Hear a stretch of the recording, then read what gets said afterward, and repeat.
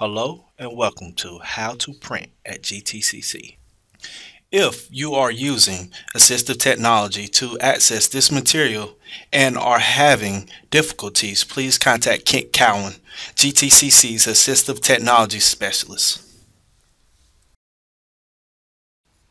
Okay, let's get started. First, you will need a print card. They are only available at GTCC's bookstore. Each card will cost $5 and will permit 50 pages to be printed.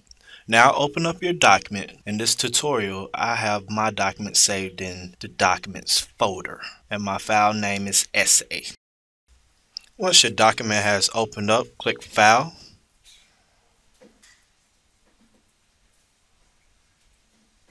Click print and then next click on the print box. The Pharos print dialog box will appear and enter in your 10 digit print card number and file name.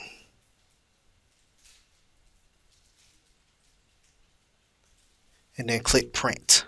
Another box will appear displaying how much the print job will cost. Click yes to acknowledge the cost and your document will be sent to the printer. Now go to the printer station and enter your print card number then click log on.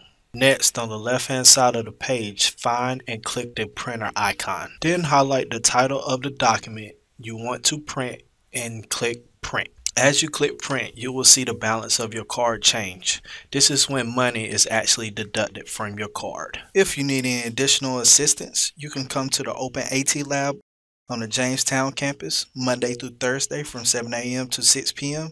and Friday from 7 a.m. to 5 p.m. Thank you.